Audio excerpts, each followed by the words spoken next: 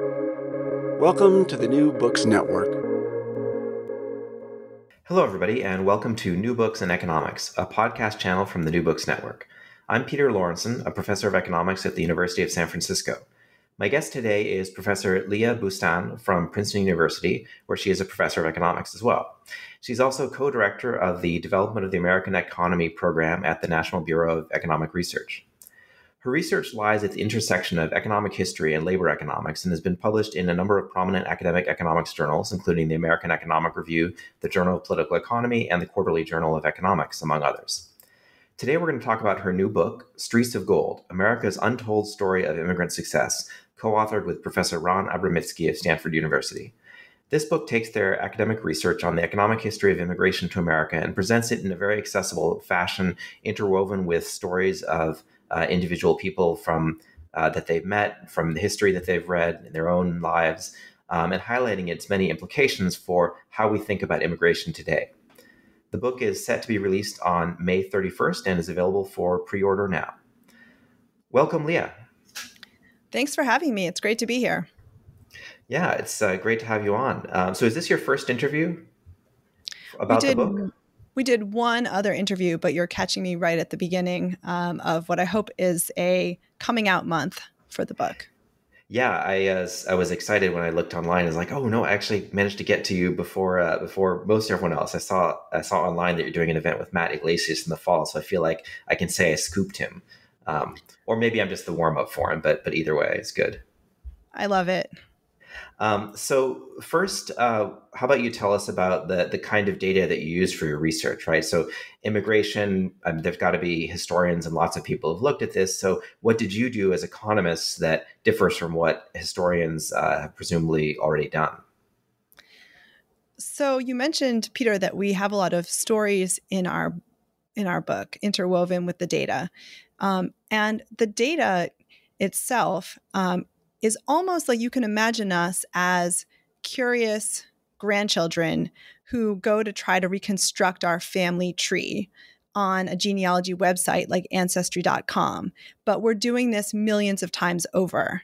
Um, so we're imagining that we want to reconstruct as many family trees from american history as possible. Um, in order to do this uh, we're using um, historical census data.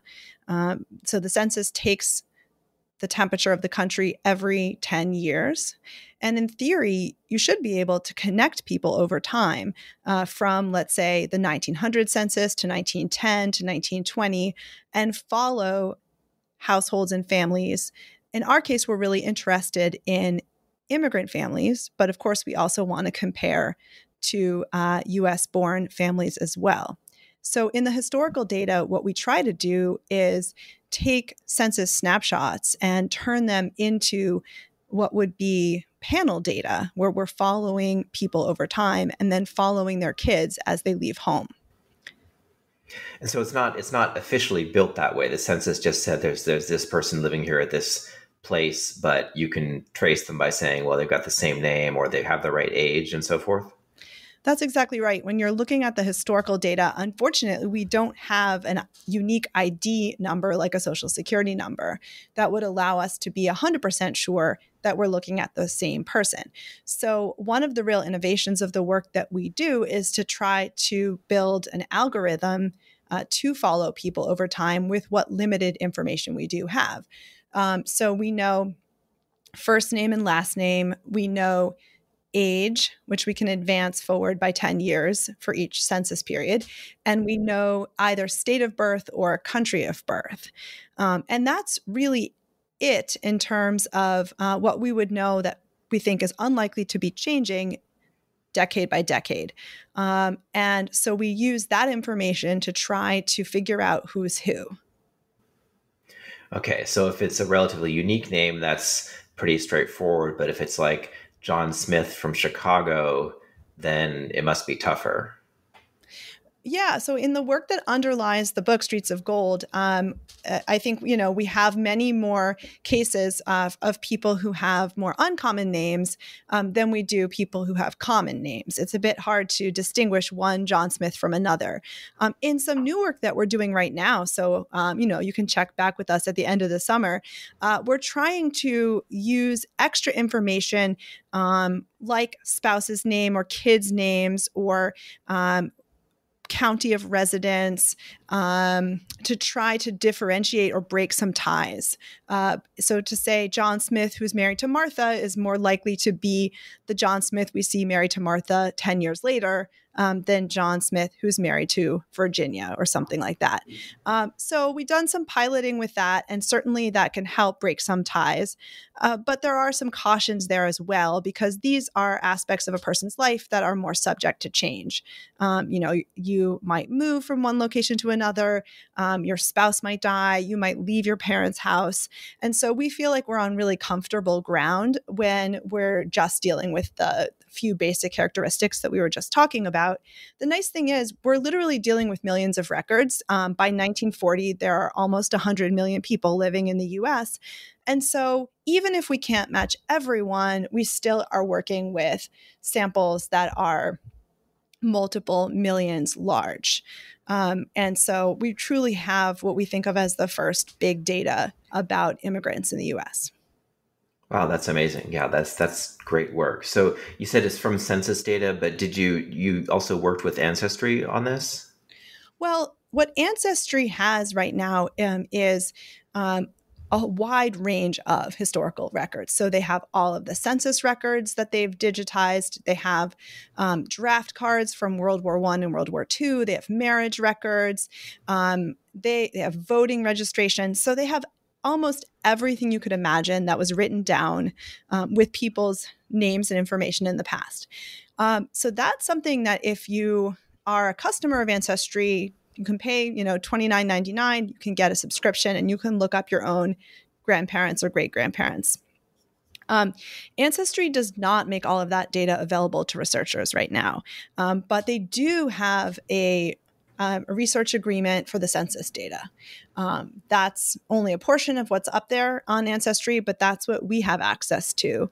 Um, and that, in and of itself, is quite a lot to analyze. So, we're primarily using um, census data that was digitized by Ancestry.com and other kind of partner companies, and then was um, shared back to researchers uh, to do projects like this. Yeah, well, that's great that they're willing to share it. I mean, there's you know, there's so much uh, you know data being generated or accumulated within the digital economy but but since it's kind of their their competitive resource they also are often very unwilling to share it or risk that anyone else might might get access to it or use it. Uh, so so it's really wonderful that i mean it is public data but like you know obviously the the effort of actually digitizing this all is is huge. So that's great that they're even willing to share this this major part of it and, and certainly oh, i can see that's plenty to keep you busy. It's huge and it's it's um, so valuable that they're willing to share. I mean, we tell a funny story about how this all came about in the book um, because initially um, we have to admit that we were scraping ancestry. Um, uh, and this was around 10 years ago now. Um, and we got started um, just doing a, some piloting of trying to find immigrant families. And um, I think that our efforts um, sort of turn the dial at Ancestry, all of a sudden they said to themselves, wow, our product got really popular. You know, all of a sudden this month, someone is searching for like thousands and thousands of family members. And it turned out that all of that increase in popularity was really just us. Um, we had a couple of uh, accounts and looking up people and um, far more people than you know they were expecting. And so uh, my co-author Ran uh, got a phone call from the ancestry lawyer um, right, right around 10 years ago now saying you know cease and desist like because i think they were worried that we were trying to um, take their data and repackage it and resell it uh, and it's a very legitimate concern on their part because they put a huge amount of effort into digitizing it. Eventually they figured out that we were just academics academics um, interested in asking some research questions. And then with our interest plus the interest of other teams, they've um, put together researcher agreements now, which is really an amazing resource. Yeah, that's that's really wonderful that you were able to work it out. I know. Yeah, I feel like yeah, 10 years ago, like I think almost every every PhD student I knew was like scraping something. and so it's not surprising that uh, that they're kind of onto us now and like trying to uh, figure out like, okay, which of these is uh, you know an appropriate an appropriate use um, and which of these uh, which of these did need did they need to block. Yeah, absolutely. I mean, and our graduate students are, you know, working with social media data right now and that sort of thing. Um, and so I think there's increasingly ways of um, get, gaining access to this data in kind of um, uh, maybe more appropriate channels. Let's just say. Um, so that's also a nice, um, a nice change uh, from what was really the Wild West ten years ago. Yeah, and I guess it's hopefully it's a good thing that uh, you know sometimes we feel sad that like so many of our phd students are, are going on to uh, get jobs in industry but then uh, hopefully that also means that there's people there who who get what we're doing and and know how to tell you know what's a serious request for for research and what's what's not and, and you know might be more more open to supporting that and explaining it to, to people from other backgrounds who don't really know what the heck we're up to I think that's absolutely right. We've already seen that amongst our own students um, here at Princeton, just over the past few cohorts. Um, the students who go into industry, um, they are really excited to partner again with some of our grad students and help them out. Um, and so, right, I do think there are more people on the uh, other side of the ledger, so to speak, who understand what research is all about, which is is a really good thing. Mm-hmm. Okay, so um, so you've got this this big data, lots of uh, family trees and sort of bits of the life stories of of so many people um, across the decades. Um, so now now let's talk about what you do with it. Um, so you you frame your book in terms of um, some widespread myths or misconceptions that people have about how um, about what immigration was like in the past, and often you know this is important because it what they think about what happens in the past colors how they think about what's happening today. So, um, so let's lay them out and try to talk through them um, uh, as much as we can. Um, so, I think the first one is that uh, in the past, immigrants uh, succeeded really easily, whereas today, immigrants are kind of mired in poverty and dragging the rest of us down in some sense, or at least themselves not succeeding. Yeah, that's exactly right. That was the first myth that we sought uh, to reevaluate.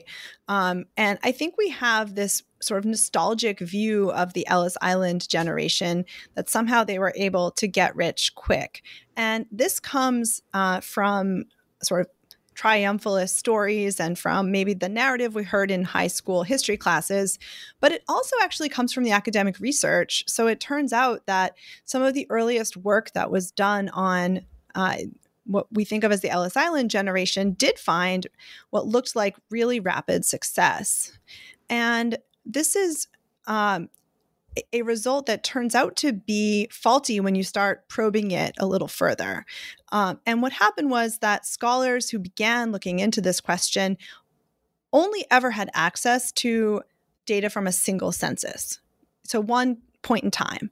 Um, let's say they had data from 1970. Um, and then they would be comparing recent immigrant arrivals to immigrants who had come 30 or 40 years ago. So that would be immigrants who came in 1965 compared to immigrants who came in 1930. And they, by that sort of comparison, they'd say, wow, the immigrants who came in 1930 were doing much better. So it must be that immigrants can very quickly rise in America. Um, they were saying they were doing much better by 1970, or they were saying they d- did much better in their first 10 years by 1970 so that's the okay. thing is that the first round of research was taking data from one time period and um, comparing very recent arrivals, someone who had been in the US for less than five years, to very long standing arrivals, someone who had been in the US for 30 or 40 years, um, and said, wow, there's a lot of upward mobility for immigrants. Um, and it turns out that there was they were really comparing apples and oranges. If you think about who came to the US in 1930, was a lot of like German scientists who were fleeing the Nazi regime, whereas if you think about who was coming to the US in 1965, um, the border had just reopened and there was a lot of migration um, from Mexico, from Asia. So it was a totally different set of immigrants. Um, and so, really, this underscores how important it is to follow immigrants over time. We really want to follow the same set of people people and watch them as they spend more time in the US. Do they have more upward mobility and upward career success compared to the US born of the same ages? I mean, of course, we all get more. Um, earnings growth over the course of our career. Um, we have this kind of age earnings profile um, where we have um, some promotions and we have more responsibility at work and our pay goes up um, as we get older. Uh, and certainly that happens for immigrants too. Uh, but when we were following immigrants over time, we found a much more tempered story. Um, immigrants did not move up faster than the US born. They didn't have this really meteoric rise that it seemed to be the case in these earlier studies. In fact, immigrants from the Ellis Island generation looked like they were moving up at the same rate as immigrants today who might be coming from Mexico or Central America or different parts of Asia. There was nothing special about the European migrants from the Ellis Island period um, in terms of that first generation. So, rags to riches is not at all the way to think about immigrants now or immigrants in the past. Wait, so the the census does the census have income data, or how did you uh, figure out how rich someone was? Well, that's a really good point about the historical data. Um, not until 1940 uh, did the census ask about individual income. So instead, we have to try to predict someone's income from information that we have about them. Primarily, what we know is their occupation. Mm-hmm and their state of residence or county of residence and their age. Um, and from those three things, we have a pretty good sense of what their income was likely to be. Um, but we don't know whether you were kind of the best paid carpenter in New Jersey who was 45 um, or whether you were the worst paid. So we don't have that kind of within occupation. Um, within age variation that we would get later in the century. Um, but we can kind of dumb down the the newer data to to see what things would look like if we used this sort of occupation based income prediction. Um, and we get very similar patterns whether we have the real income data or um, uh, an occupation based proxy. Okay great. So so you're saying so I think there were two things in what you were saying. So one is that you know obviously you can't compare you know how well is someone doing 50 years after their family arrived in the U.S. versus someone who who just got here. Um, I think you also sort of suggested that there's different different waves may have had different characteristics. So there's kind of the initial, you know, the starting point of you know uh, a PhD rocket scientist uh, from uh, from Germany um, is going to be very different from the starting point of someone who you know just uh, was you know uh, small time merchant in Vietnam and just just fled in the 70s. So how do you um, so uh, yeah how do those I mean I think that's part of why people and anxiety people have about immigrants. They feel like in you know the the new immigrants are not like the the same I don't know quality is the wrong word but they would think of it as quality you know the same level of education the same level of income as as the old immigrants or something. So then that might might change things um, yes. So I think the big difference between past and present is really the starting point. Um, that um, that immigrants from now it's a little bit. I want to put a caveat to say that it turns out that the studies that were comparing the immigrants from the 1930s to the immigrants from the 1960s, um, they were really looking at a very small and very selected group of immigrants. Um, there were not very many immigrants coming to the US in the 1920s, 30s, and 40s because we had essentially restricted the border as of 1921. Um, so it turns out that the older studies I was mentioning were really cherry picking a very self selected and small group of immigrants um, for these kinds of comparisons. But that caveat aside, you're absolutely right that um, there are differences in initial starting point uh, for different immigrant groups, depending on where they're coming from and what kinds of skills and education and training they may have received in the home country. And so, if we go back 100 years ago to the Ellis Island generation, many of those immigrants were coming from countries that were on par with the US in terms of economic development. So, think about the UK and Germany, um, other parts of Western Europe. Um, and those immigrants were already reasonably skilled compared to the US born. And they started out at a, a relatively high level of pay. Um, there were also some immigrants in the past that were coming from poorer countries like Italy or Norway um, or Poland. And those immigrants were starting out with a lower level of pay. Um, but the level of pay today for immigrants from many of our poorer sending countries is even substantially lower than that. Um, so, one big difference that's happened over time is that the US has opened up to the whole world rather than just to Europe. Um, and that does create a fair amount of anxiety. But what our research shows is that regardless of your starting point, immigrants are moving up at the same pace. So there's the same degree of earnings growth or earnings convergence now as there was in the past.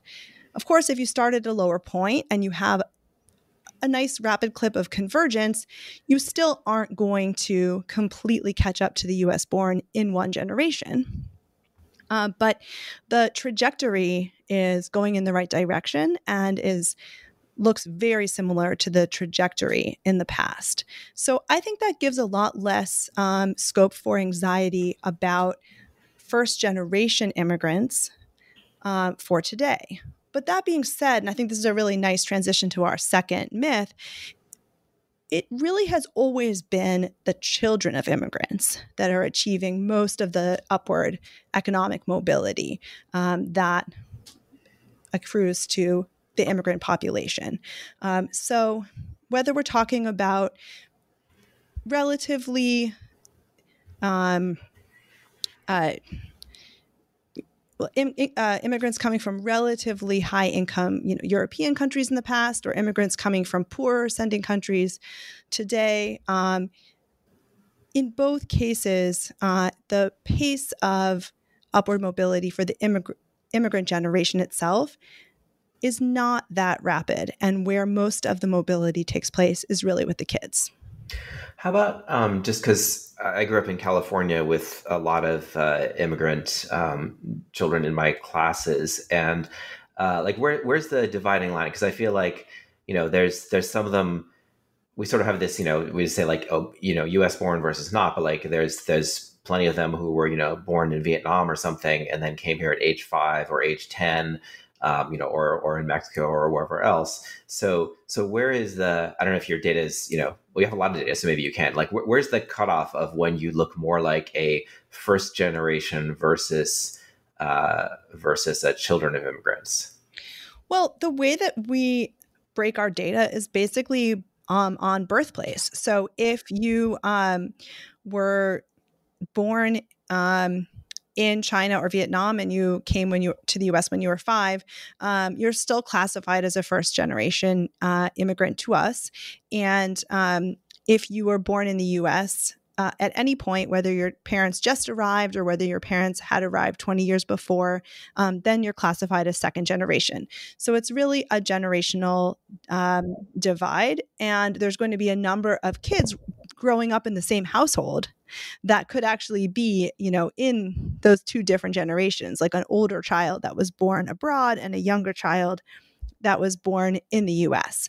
And from best we can see, the 1.5 generation, which is what sociologists call it, so people who came to the US when they were very young, um, they uh, look um, sort of halfway between um, the parent generation and um, the the child generation. Um, so if you're going to separate them out in the data, um, they don't look exactly the same as their younger siblings. Okay, yeah, I guess I was wondering if there was if you had enough data actually sort of like if there was a, a sharper cut point or if it's more uh, more of a continuum just going from you know from the one to one to the 1.5 to two but it sounds like at least from what you have so far, it's more of a continuum. Well, and I should also clarify that um, the one the 1.5 generation actually do get grouped in with their siblings when we make claims about the children of immigrants because in that case what we're interested in is what is the attribute of your parents? Were your parents born in the us then you're um, a child of a us born household. Were your parents born abroad, then you're the child of an immigrant household, um, regardless of when you yourself came uh, to the US. So when we're making statements about children of immigrants um, are really experiencing tremendous upward mobility, um, then that would include the children who um, come themselves um, when they're quite young. Um, which, in a way, makes our finding even more um, you know, fascinating and surprising because if the children who are born abroad and come when they're young are sort of halfway between their parents and their younger siblings, but we're including them in the mix when we're making statements about children of immigrants, then it means that the children of immigrants are doing all the better um, because we're including in that mix us a group that is not as successful as their younger siblings. Mm-hmm. Great. Well, that's yeah, that's that's really uh, well. Anyway, it's, it's you know generally very it's very very positive news, right? So so people may look around, and you know partly because we have so many more immigrants um, these days, and especially I suppose if you're older, maybe there's more immigrants. You know, if people I don't know, I guess over fifty for them, then they look around and they didn't grow up surrounded by immigrants because that they were uh, young before this wave and so now most of the immigrants they see who are their age or who they've interacted with in their lives are much more likely to be uh, either sort of first or I guess third or fourth generation. So they sort of they they're probably making the same mistake that the, the earlier researchers did, right? They see they see immigrants these days, and they're people who are you know new to the U.S. and you know still struggling economically, and then they look around at people who immigrated back in the day, and they see, oh well, they're all you know they're all just like me, but with a different last name, and they celebrate Christmas a little bit differently or to have a different holiday, but like, you know, no big deal. Um, actually, that that sort of leads into then uh, another um, issue you address. So there's a concern. I think even um, you know the the famous political scientist Sam Huntington um, at uh, at Harvard had had asserted that you know sure even if immigrants succeed, that's one thing, but they're always going to be you know culturally different. They're not going to assimilate the way that, you know, now the Italians and the Poles and the Irish and the English all kind of get along and, and barely even, you know, we all get, you know, lumped together as white people, but like the the new people, they, you know, will be forever different. So, so tell us what your research says about that that uh, concern. Um, yeah, you're exactly right. Um, as economists, we really started our project thinking about occupation and income, um, thinking about geography a little bit, like what cities do immigrants choose to live in. Um, and we really didn't start by thinking about cultural outcomes. But um, when when talking to you know family or friends or just people on the plane, um, and we talked about assimilation, people would say to us, well, okay, that's fine. Um, immigrants are doing well economically, or at least their kids are doing really well economically, but are they really becoming Americans? Like that's what we think of when we think of assimilation. Um, and these days, I see immigrants who look really different from me, and I just worry about that. Um, so we wanted to bring some real data to that question as well. Um, and we wanted to come up with something that we could measure both in the past and today. Um, so there's a number of different ways to look at that question, and we tried to tackle um, a variety of them in the book. So things like who do immigrants marry? Do they marry other people from the home country, or do they marry someone um, who is maybe U.S. born or maybe from another country of origin? Um, what kinds of neighborhoods do immigrants live in? Do they live with others from the home country, or do they live in a more integrated neighborhood?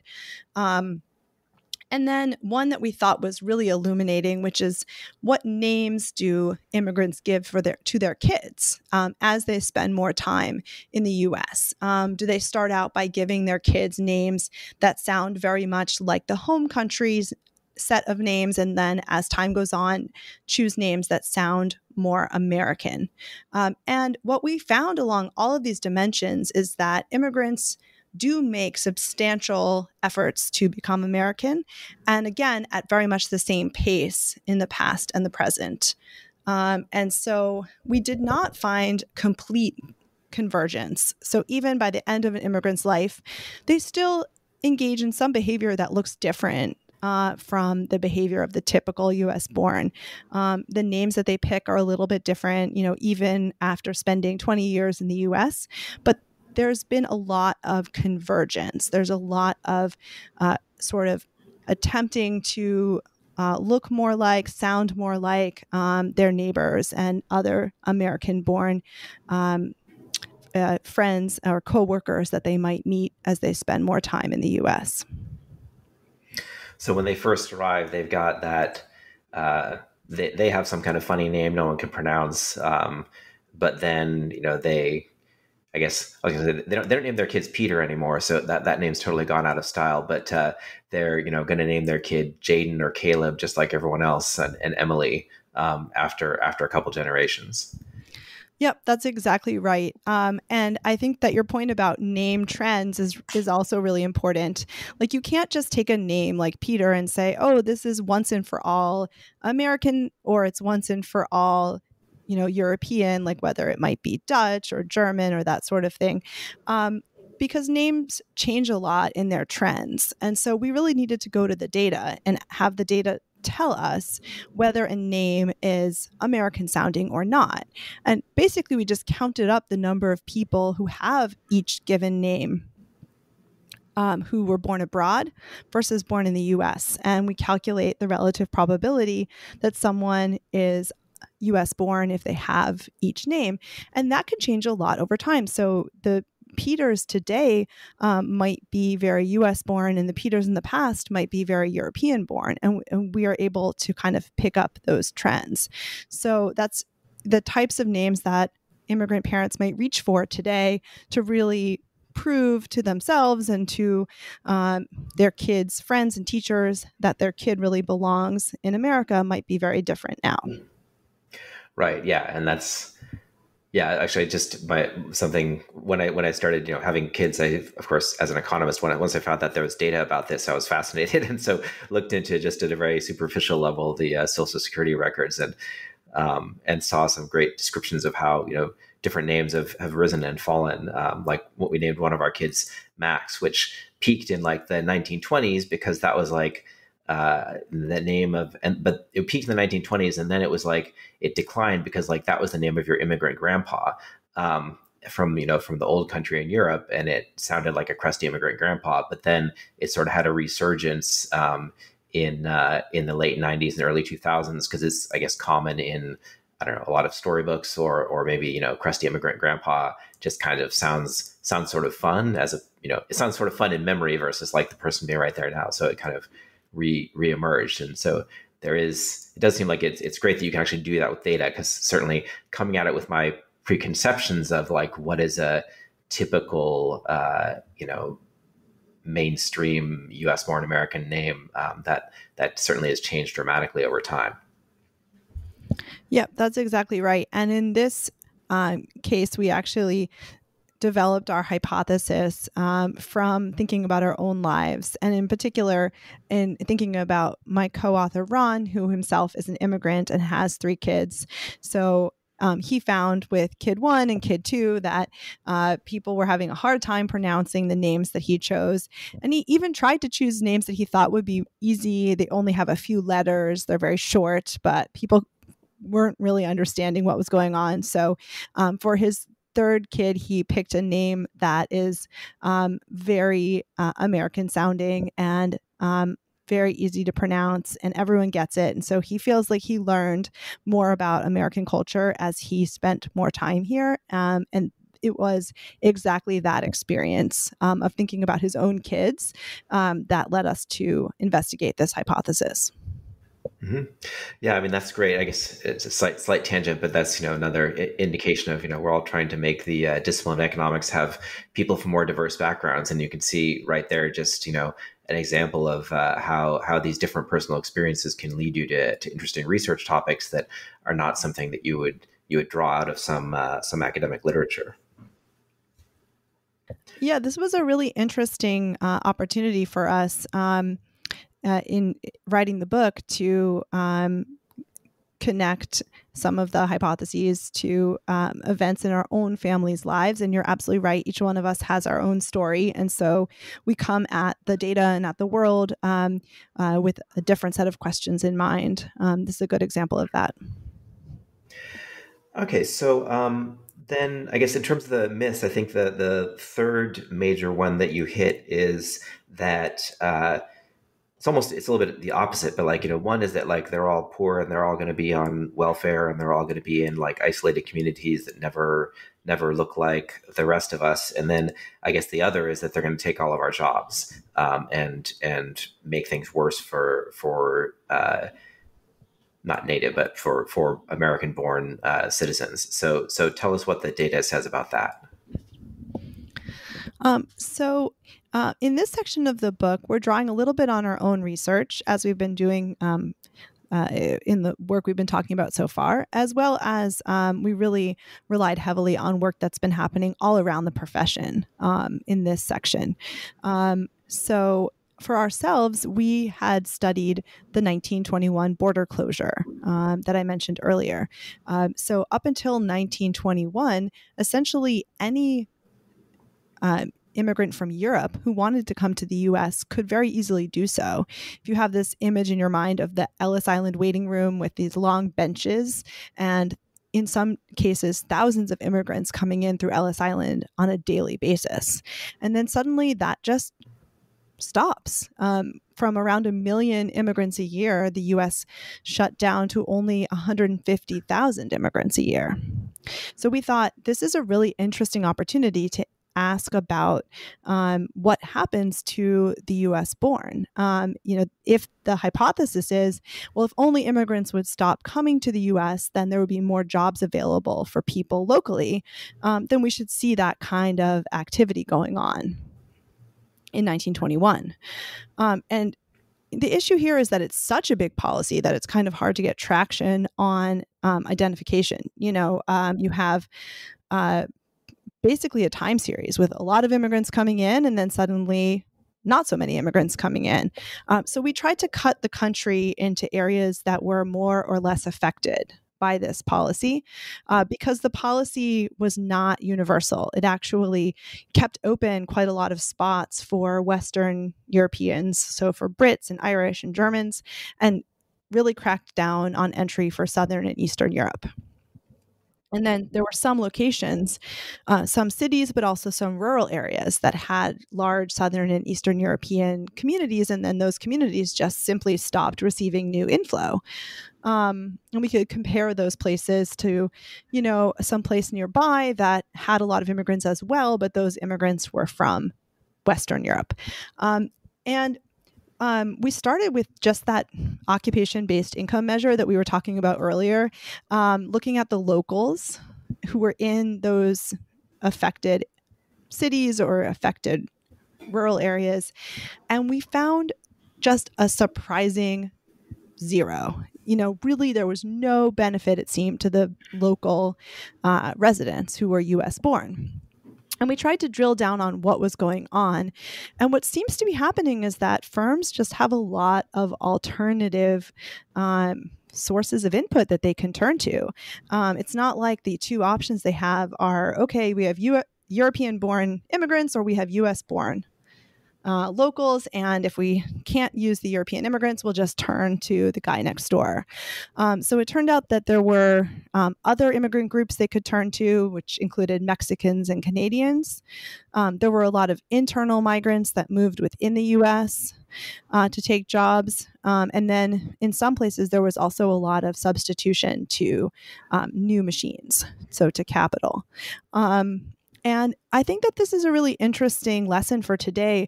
I think the menu of inputs are, are probably different today. But um, if it weren't for immigrants coming in, um, there might be more outsourcing. They, there might be more automation, um, and so this gives us a sense of you know why the benefits don't immediately accrue to locals.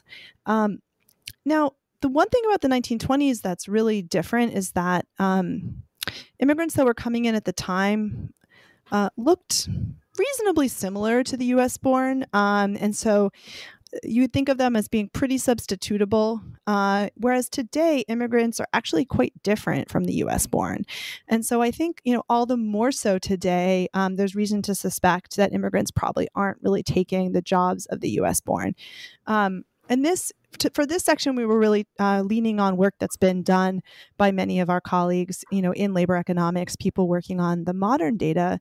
Uh, but first of all, a lot of immigrants today are high skilled. Um, you know, they have PhDs, they're working in tech, um, they're working in science, and they're doing things that may even um, create jobs uh, for Americans.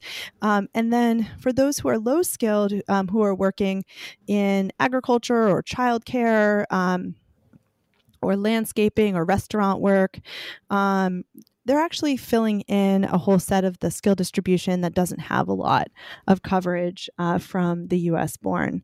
Um, and so, um, all the more so today, uh, we think that, you know, immigration is not really a zero sum. Great, and I know that's you know that's very much consistent with uh, yeah a large large body of research that we don't have to get into. Um, so I think were those uh, were are there any other big myths that you um, would like to talk about, or was that the main three? So those are the main three. Um, but I do just want to underscore, you know, as we're getting to the end of our conversation, um, you know, how strikingly similar the success of uh, the second generation, the children of immigrants, were um, in the past and the present. So, you know, when we're thinking back to the Ellis Island generation, which to me would be like my great grandparents and my grandfather, um, I remember my grandfather as being pretty successful. Um, but he's the child of immigrants. He's not the immigrant himself. And so I think we, when we go back that far into history, we often kind of skip a generation, right? So a lot of the success that we attribute to the Ellis Island generation is really their kids. And that we can see quite clearly in the census data, where we follow a kid or you know millions of kids from childhood households into adulthood. There we can follow them to 1940 so we actually have income information for them and we can place the children of immigrants into the income distribution and we can see that they're doing um, very well uh, even if they're being raised at like the 25th percentile of the income distribution they're moving up above the median and they're doing so more readily than the children of US born. But, you know, I really did not expect the same level of success today. Um, and that's the piece of the research that we've done that really blew me away the most is how strikingly similar that pattern looks for the children of immigrants today. So there's still, so contrary to what people are thinking, that they're still uh, they're still striving and uh, and getting ahead just as well as uh, as any previous generations. Exactly. You know, so it's always the parent generation that's pretty slow out of the gate. And for today, that will mean you know, parents that have pretty low income given the set of countries of origin. Uh, but the children, despite coming from um, backgrounds where the parents are coming from poor countries, they're really able to move up above the median um, and do so more so than uh, the children of similar uh, US born families. You know, so if we're actually able to compare apples to apples and we have um, US born families, um, also, let's say at the 25th percentile, uh, the children of immigrant families are, are doing better. Um, and at like just amazingly similar um, uh, rate um, and degree uh, to the past. Wow, well, that's all. That's all really optimistic news, and it, so it's great that you've you've written this book to sort of uh, bring these um, this this learning to uh, to a broader audience. Um, is uh, what would be sort of your your I mean, aside from these these facts about things, what do you take as the implications of this for for public policy, or what are things you wish you that um, uh, policymakers might do differently, or at least rethink in, in light of the the findings of your research? The main um, implication, we think, um, is to lead with optimism, actually. Um, uh, so we find the immigration policy debate these days uh, to be very defensive.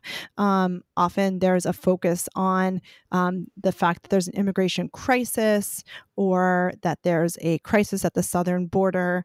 Um, it will be usually uh, the Republicans who are calling attention to immigration and in, in a negative way.